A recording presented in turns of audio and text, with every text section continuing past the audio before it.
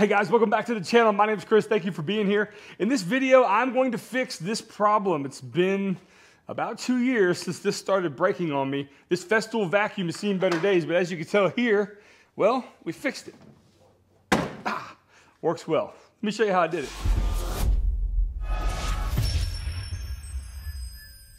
Hey guys, first and foremost, I need to thank somebody. And if you're a new subscriber, you're gonna know who that person is. And that's James Hamilton over at the Stumpy Nubs Woodworking Journal. Um, I got a major, major shout out from him on his weekend vlog um, this past week. Uh, it's been about five, six days now since that video. The channel has grown um, around 11 to 12,000 subscribers more. And I thank each and every one of you as well. But James, thank you so much. The, the kind words and the way that you presented it, I just couldn't have, I couldn't have said it any better myself. And um, it was really heartwarming to, to see the comments coming in and to see the people who are now here and why they're here. And I, I just, it, it was crazy. Pretty humbling stuff. All right, um, James, Thank you so much. And speaking of James, I'm actually going to link one of his videos down below. And the topics discussed in that video really pertain to this video too. Um, I'm going to show you a video real quick here of something I'm working on.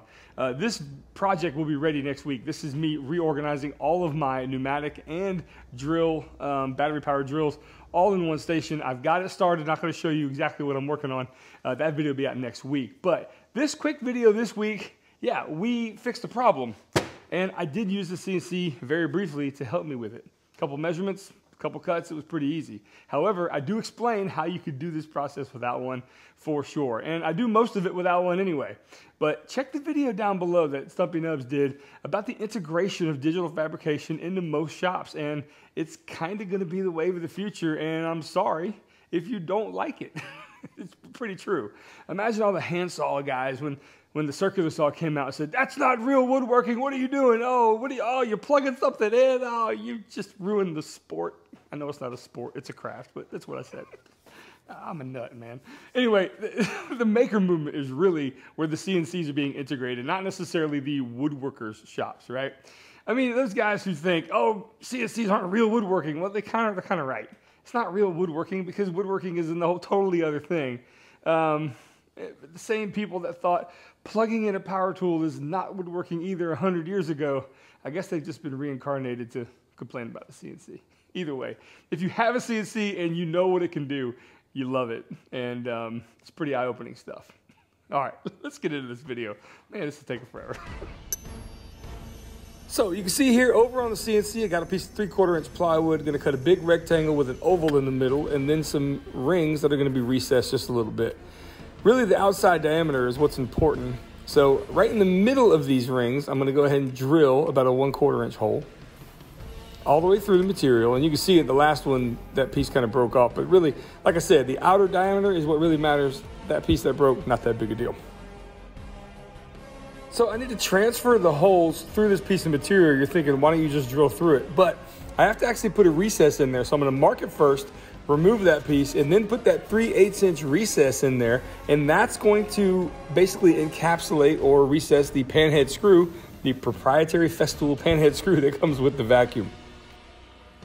So now that I know the depth I need, I'm just gonna eyeball this. And I'm gonna go around all four corners, making sure I got the right countersink done for that screw. Is at this point now, I'm gonna attach everything back. I'm just gonna use a few squeeze clamps and then I'm gonna take that same drill bit we used in the beginning to transfer those holes all the way through the piece. So I'm gonna show you the installation here. I'm gonna get up underneath and show you those little columns that go into those recesses. Now let's say you don't have a CNC and you wanna get that exact measurement. Well, you could essentially cut your oval and then lay your piece of plywood down on this vacuum with a little bit of black paint or nail polish on those rings press it down, and then you've got those rings transferred to your piece of wood, and then you do the same process here as you see me doing. So the next step in the process is to make some Systainer storage that mimics how the Systainers used to fit on top of this vacuum. And for this, I'm using plywood again. This is half inch. I'm going to sand pieces down so they just barely fit inside some of these grooves.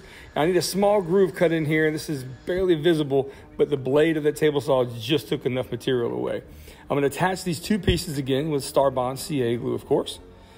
my favorite non-metal or wood tool in the shop for sure. And you can see there, that's what we got. Now that's the piece that I am trying to, well, build around. Essentially, I'm gonna use some CA glue again, place it in, and then we're gonna kind of give it a test and make sure that this is all gonna work. And you can see here, it locks it in place. Works out pretty well. Now we're gonna use the same process on the other side, making sure everything is kept flush to the side of the vacuum. Mark where it needs to go, and I'm gonna attach it with CA glue. You're thinking, wait a minute, Chris, a lot of weight's gonna be put on this, especially if you decide to pick these up. CA glue may or may not hold that entire strength. Well, you're probably right. So what I'm gonna do is I'm gonna come back once I know that everything is nice and flush, and of course reinforce everything with some wood screws.